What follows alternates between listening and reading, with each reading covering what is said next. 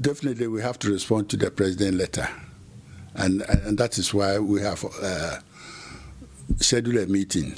In fact, it was around this time, but I told the DG I have a, a meeting with the TV3, and uh, I want to finish that interview. The president has asked us to reconsider, and uh, instead of dismissal. Yeah, so we have so many options. Normally, dismissals are the uh, top of the sanctions that are given to uh, students. So uh, we have other op options that we can uh, also agree on. Which includes? Oh, it, suspension, you know, and because of the nature of the offense, maybe the suspension will have to be not two weeks, three weeks, and that kind of thing. But if that is not a, because they are in final year, final year yeah, yes. if you say are, you are suspending them for one semester, that's a lot.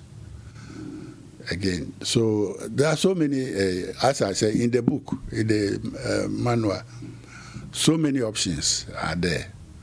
But because of the severity of the offense, that's why they, you know, from the school level disciplinary committee to board committee and so on, so they all uh, recommended the, the, the, the, highest option, that's dismissal. Of course, it involves the president.